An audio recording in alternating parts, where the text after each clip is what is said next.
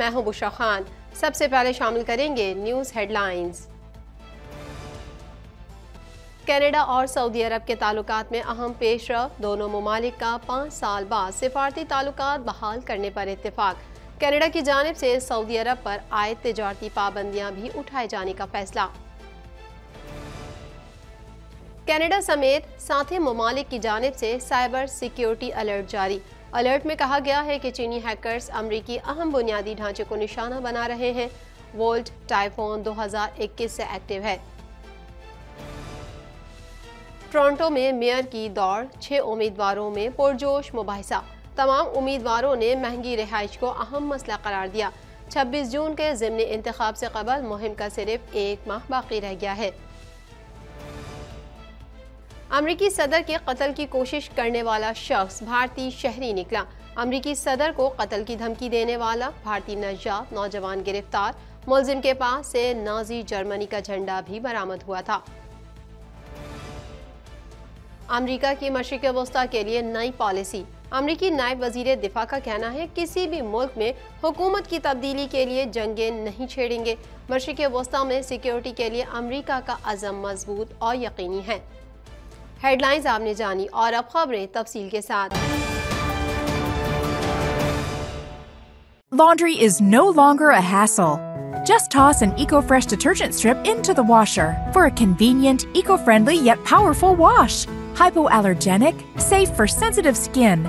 Say no to bulky plastic jugs and bottles. No more measuring and spilling. Just one strip for a load. Simple and squeaky clean. Plastic-free, biodegradable packaging. Organic, paraben, phosphate, dioxane, and cruelty free. Order now at www.ecofreshcanada.ca or at Amazon.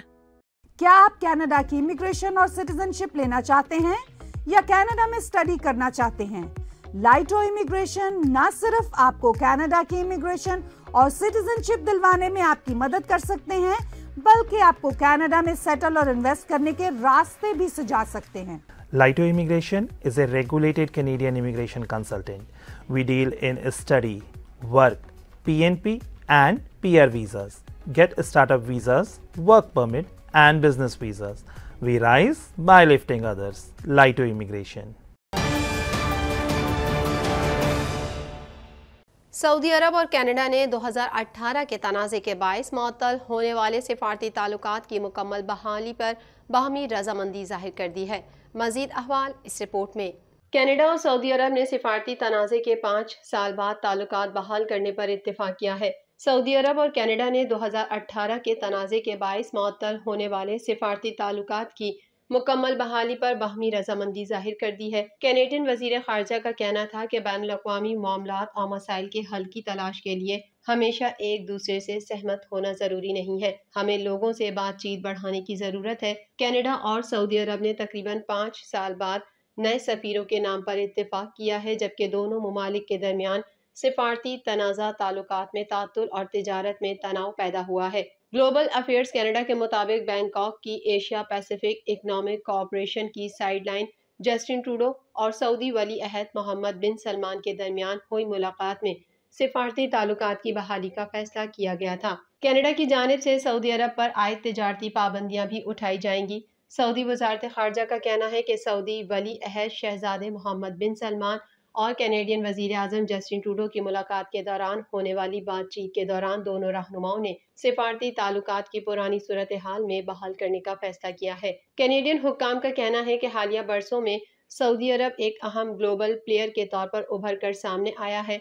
सऊदिया ने Sudan में फंसे Canadians के इनखला में हमारी मदद की और वो सूडान मसले के हल की तलाश करने के लिए भी अहम किरदार अदा कर रहा है। वाजह रहे कि 2018 सऊदी सहाफ़ी जमाल खाशकी के कत्ल के बाद कनाडा समेत तमाम मगरबी ममालिक ने वाक़े की मजम्मत की थी। बाद अजा सऊदी अरब में कनाडा की सिफारत खाने की जानब से अरबी जबान में की गई ट्वीट के बाद दोनों ममालिक के ताल्लुक में तलखियाँ पैदा हुई, जिसमें खातन के हकूक़ के लिए काम करने वाली कारकुनान की रिहाई का मुतालबा किया गया था। सिफारत खाने के ट्वीट के बाद सऊदी अरब ने कनाडा से अपना सफ़ीर वापस बुलवा लिया था, जबकि कैनेडियन सफ़ीर को मुल्क छोड़ने और नई तजारत पर पाबंदी आयद कर दी गई थी। ताहम अब दोनों ममालिक ने वापस पुरानी सतह से ताल्लुक बहाल करने का फैसला कर लिया है। कनाडा समेत दुनिया के मुख्तलिफ़ ममालिक के साइबर सिक्योरिटी हुकाम ने मुतनबा किया है कि चीन के रियासती सरपरस्ती वाले हैकर्स अमरीकी अहम बुनियादी ढांचे को निशाना बना रहे हैं। मजीद जानते हैं इस रिपोर्ट में। कनाडा समेत दुनिया के मुख्तलिफ़ ममालिक के साइबर सिक्योरिटी हुकाम ने मुतनबा किया है कि चीन के रियासती सरपरस्ती वाले हैकर्स अमरीकी अहम बुनियादी ढांचे को निशाना बना रहे हैं। ताहम कैनेडियन हुकाम का कहना है कि कनाडा के अंदर किसी निज़ाम को निशाना बनाए जाने की कोई इतला नहीं है। Canadian Centre for Cyber Security कई बैन अवी एजेंसीज में से एक थी। ये सभी फाइव आइज़ इंटेलिजेंस इतिहाद का हिस्सा है, जिसने अमरीकी नेशनल सिक्योरिटी एजेंसी के जारी करदा अलर्ट को बढ़ाने में हिस्सा लिया। एनएसए ने जिस चीज़ को समझौता के इशारे के तौर पर बयान किया है, उसकी दरियाफ्त सबसे पहले माइक्रोसॉफ्ट ने की थी और इसे मुबैना चीनी रियासती किरदार वॉल्ट टाइफोन से मंसूब किया गया था, जिसके बारे में कंपनी ने कहा था कि 2021 के वस्त से फाल है।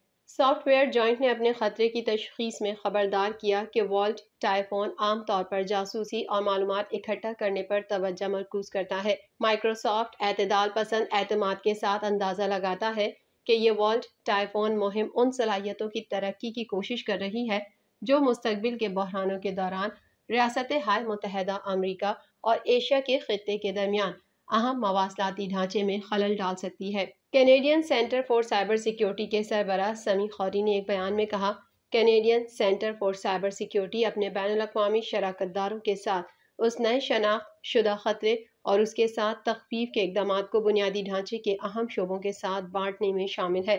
दीगर एजेंसीज में U S cyber security and infrastructure security agency F B I और ऑस्ट्रेलिया न्यूजीलैंड और यूके में साइबर सिक्योरिटी एजेंसियाँ शामिल थीं। टोरंटो के मेयर के छह सरकर्दा उम्मीदवारों ने स्कारब्रो में 90 मिनट की एक पुरजोश बहस में ट्रांजिट, सिटी सर्विसेज़ और टैक्स के मुस्तबिल के लिए अपने तस्वुर का खाका पेश किया। मजीद तफसीत इस रिपोर्ट में। टोरंटो के मेयर के छह सरकर्दा उम्मीदवारों ने स्कारब्रो में नबे मिनट की एक पुरजोश बहस में ट्रांजिट सिटी सर्विसेज़ और टैक्स के मुस्तबिल के लिए अपने तस्वुरात का खाका पेश किया। शहर के एक ऐसे इलाके में जो आने वाले इंतबात में एक अहम मैदान जंग की शक्ल इख्तियार कर रहा है, उम्मीदवारों एन डी पी की सबक रुकन parliament Olivia Chow, city councillor Josh Matlow, सबक पुलिस चीफ मार्क सैंडर्स, सबक deputy mayor Ana Bailao councillor Brad Bradford और सबक लिबरल एम पी पी बराए स्काब्रो ग्लिडवुड, मिटसी हिंटर ने कहा। अगर मुंतखब हुए तो वो अपनी तोजह मतनू, आबादी वाले इलाके में ट्रांजिट और पड़ोस के मराकज़ जैसे शहरन की गिरती हुई खदमात और इंफ्रास्ट्रक्चर को बहाल करने जैसे मामला पर मरकूज करेंगे। मुबासे का अहतमाम मुतद मकामी कम्यूनिटी ग्रुप्स ने किया था और उसकी मेज़बानी university of Toronto Scarborough campus में की गई थी। प्रॉपर्टी टैक्स में इजाफा कौन करेगा और कौन नहीं करेगा, इसके साथ साथ असल में सस्ती रिहाइश कैसे बनाई जाए? पहली बड़ी बहस का मरकज बना, जिसमें टोरंटो के मेयर के लिए इंतखाब में सर फहरिस्त छः उम्मीदवार शामिल थे, जिसका मकसद ओलेविया चो पर कई हमले थे। तलबा के सवाल के एक आखिरी हिस्से ने शहर की महँगाई और नौजवानों की तशवीश को उजागर किया कि आया उनका टोरंटो में मुस्तबिल है। अख्तामी बयान में तमाम उम्मीदवारों ने कहा कि ज़्यादा सस्ती रिहाइश की ज़रूरत पर ज़ोर है। ताहम सैंडर्स और ब्रेडफोर्ड ने कहा कि ब्यूरोक्रेसी ने मजीद मकाना की तमीर को रोक दिया है। टोरंटो बरसों से रिहाइश की इस्तात के मसाइल से नबरद आजमा है। चाहे वो घर खरीदने का हो या किराए पर लेना। सबक मेयर जॉन टॉरी ने भी बहुत से उम्मीदवारों की तरह इस सूरत हाल को बहरान करार दिया। छह उम्मीदवार जुमेरात को Toronto region board of trade के जेर अहतमाम होने वाले मुबासे के लिए एक बार फिर आमने सामने हैं, जबकि 26 जून के ज़मनी इंतखब से कबल मुहिम का सिर्फ़ एक माह बाकी रह गया है। अमरीकी सदर जो बाइडन को कत्ल करने के लिए भारतीय शहरी ने ट्रक व्हाइट हाउस में ले जाने की कोशिश की थी, सिक्योरिटी इदारों ने उसे हिरासत में ले लिया। मजीद अहवाल इस रिपोर्ट में। अमरीकी सदर जो बाइडन को कत्ल करने के लिए भारतीय शहरी ने ट्रक व्हाइट हाउस में ले जाने की कोशिश की थी, सिक्योरिटी इदारों ने उसे हिरासत में ले लिया। रियासत मिजोरी से ताल्लुक रखने वाले गिरफ़्तार भारतीय नशियात मुलजिम ने बताया है कि मैं यहाँ हुकूमत पर कब्जा करने के लिए आया और सरदार जो बाइडन को कत्ल करना चाहता था। गैर मुल्की मीडिया की रिपोर्ट के मुताबिक उन्नीस साल भारतीय नशियात नौजवान ने कहा कि वो व्हाइट हाउस में दाखिल होकर सदर बाइडन को कत्ल करके इकतदार पर कब्जा करना चाहता था। साई विरशित कंडाला नामी उस नौजवान को सिक्योरिटी एहलकारों ने उस वक्त गिरफ़्तार किया था जब उसने ट्रक व्हाइट हाउस के हिफाजती बैरियर से टकराया। मीडिया रिपोर्ट्स के मुताबिक पीर को भारतीय नशात नौजवान ने व्हाइट हाउस के पार्क में ट्रक से हिफाजती रुकावट को दानिस्ता टक्कर मारी और सड़क पर खड़े होकर चीखने लग गया। वाकई में कोई जख्मी नहीं हुआ। सिक्योरिटी एहलकारों ने उसे हिरासत में लेकर तफ्तीश शुरू की तो मालूम हुआ कि वो नाजी फस्ताइत से मुतासर है। मुलजिम के पास से नाजी जर्मनी का झंडा भी बरामद हुआ था। भारतीय शहरी ने तफ्तीश के दौरान ये इंकशाफ भी किया कि वो इस हमले की मनसूबाबंदी गुजशत छह माह से कर रहा था। पुलिस का कहना है कि कंडोला को मुताद इल्ज़ाम के तहत गिरफ़्तार किया गया है, जिसमें सदर, नायब सदर या उनके ख़ानदान के किसी भी फर्द को कत्ल, अगवा या नुकसान पहुँचाने की धमकियाँ भी शामिल हैं। उन पर एक खतरनाक हथियार से हमला करने, खतरनाक अंदाज से गाड़ी चलाने विफाकी इमलाक को नुकसान पहुँचाने और तजावज़ करने जैसे इल्ज़ाम आयद किए गए हैं। अमरीकी नायब वज़ीर दिफा बरए स्ट्रेटजी मारा कार्लिन ने कहा है कि अमरीका मशरक वस्ती में हुकूमत की तब्दीली के लिए जंगें नहीं छेड़ेगा, लेकिन उस खत्े में मौजूद रहेगा। मजीद अहवाल इस रिपोर्ट में। अमरीकी नायब वज़ीर दिफा बरए स्ट्रेटजी मारा कार्ल ने कहा है कि अमरीका मशरक वस्ती में हुकूमत की तब्दीली के लिए जंगे नहीं छेड़ेगा, लेकिन इस खत्े में मौजूद रहेगा। अमरीका की नायब वज़ीर दिफा बरए स्ट्रेटजी। प्लान और कैपेबिलिटी मारा कार्लन ने हमत अमली की वजाहत करते हुए कहा कि अमरीका नई कौमी दिफाई पॉलिसी के तहत फौजी कार्रवाइयों के ज़रिए हुकूमतों को तब्दील करने के बजाय रियासतों के साथ इतिहाद और शराकत दारी के फ़रोग पर तवज्जो दे रहा है। उन्होंने मशरक़ वस्ती के लिए नई कौमी दिफाई हमत अमली को एक पैराडाइम शिफ्ट यानी बुनियादी तब्दीली करार दिया, जिसके तहत खत्े से लाखों अमरीकी फ़ौजियों को निकालना भी शामिल है। अमरीकी अहदेदार मार्ला कार्लन ने वाशिंगटन में मिडल ईस्ट इंस्टीट्यूट में खिताब के दौरान वाजे किया कि अमरीका नई कौमी दिफाई हमत अमली के तहत फ़ौजी कार्रवाइयों के ज़रिए हुकूमतों को तब्दील करने की यक तरफा पॉलिसी से पीछे हट रहा है। इसके बजाय अमरीका अब इलाकाई रियासतों के साथ इतिहाद बढ़ाने और शराकत दारी के फ़रोग पर तवज्जो मरकूज करेगा। अमरीकी नायब वज़ीर दिफा ने कहा कि कौमी दिफाई हमत अमली ने मुस्तबिल में चीन को अमरीका के लिए सबसे बड़ा खतरा करार दिया है, जबकि रूस को भी शदीद खतरे के तौर पर बयान किया है। इसमें ईरान, शुमाली कोरिया और दहशतगर्द तंजीमों समेत दीगर खतरात का भी ज़िक्र किया गया है। कार्लन ने कहा कि मशरक वस्ती में सिक्योरिटी के लिए अमरीका का अज़म मज़बूत और यकीनी है। खत्े में ईरान के लापरवाह रवैये से फौजी इंजमाम के कसीर जहती अप्रोच और अफवाज के बाहमी ताउन के ज़रिए निपटा जाएगा। उन्होंने मजीद दूसरे पहलू पर रोशनी डालते हुए कहा कि मशरक वस्ती के लिए नई कौमी दिफाई हमत अमली के मकासद में एक ये भी शामिल है कि इस खत्े से लाखों अमरीकी फ़ौजियों को निकालना है इसलिए इस हमत अमली को पैराडाइम शिफ्ट यानी बुनियादी तब्दीली करार दिया है। अमरीकी नायब वज़ीर दिफा ने वाजे करते हुए कहा कि इसका मतलब ये नहीं कि मशरक वस्ती के लिए अमरीका के अजायम में कोई कमी आई है।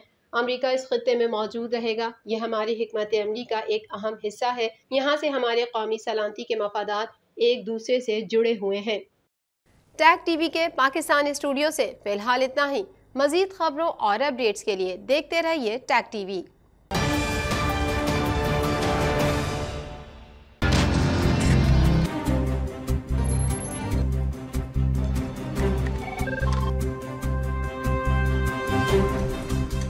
are precise and effective.